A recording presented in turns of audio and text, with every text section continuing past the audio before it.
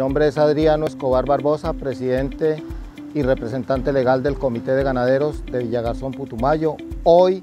en la cuarta escuela de campo en el marco del proyecto de ganadería sostenible y celebrando hoy primero de julio el Día Mundial de la Ganadería Sostenible queremos expresar que en acciones conjuntas como este tipo de, de, proyectos es como realmente la comunidad ganadera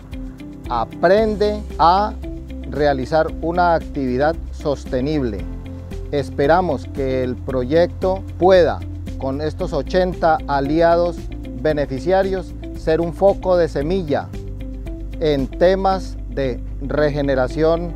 eh, natural, en temas de conservación y en temas de productividad y rentabilidad en la ganadería del municipio de Villagazón.